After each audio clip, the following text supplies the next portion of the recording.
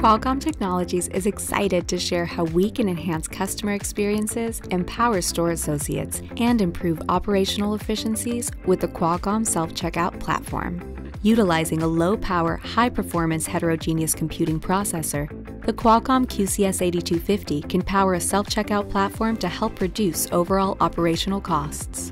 The integration of four video streams from individual camera sensors eliminates the need for separate IP cameras, thus reducing system cost. This platform can support up to seven concurrent cameras.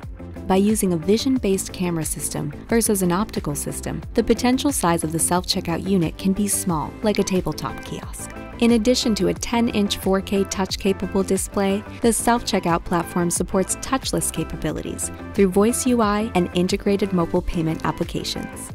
Using Bluetooth technology to detect customer proximity, the self-checkout platform can quickly wake from an energy-saving sleep mode.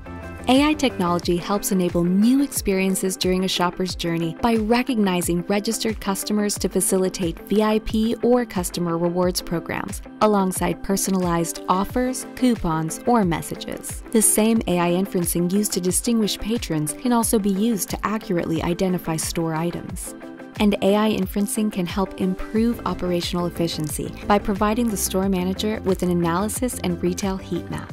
See a line or crowd forming? Time to open an extra checkout line.